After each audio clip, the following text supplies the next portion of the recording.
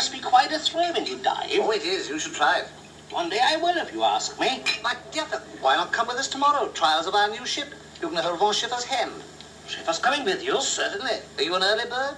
What do you call early? Oh, five-ish? Oh, that's not so bad at this time of year. I promise you a real thrill. Done. Do I bring sandwiches? No, no, don't bother, old boy. Darling?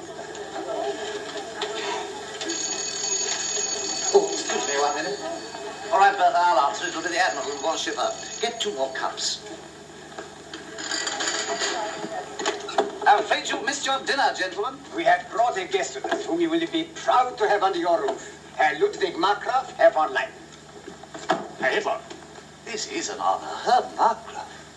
I'm glad to meet you, Herr von Leyen. I apologize for detaining two of your guests. Well, better late than never.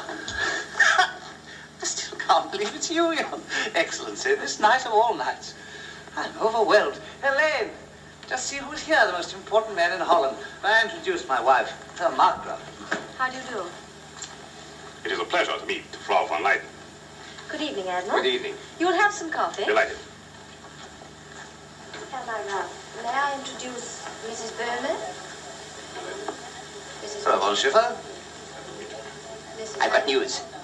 You know that sentry who got injured the other night? Yes. He regained consciousness just for a few moments.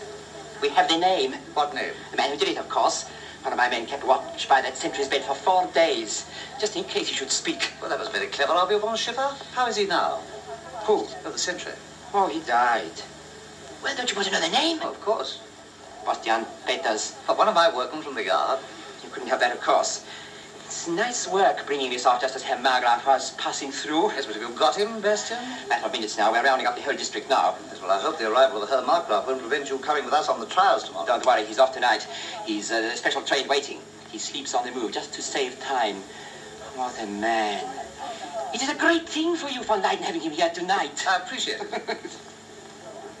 Darling, there's bad news. Bastian. Oh, no. The sentry's spoken. Oh, yeah.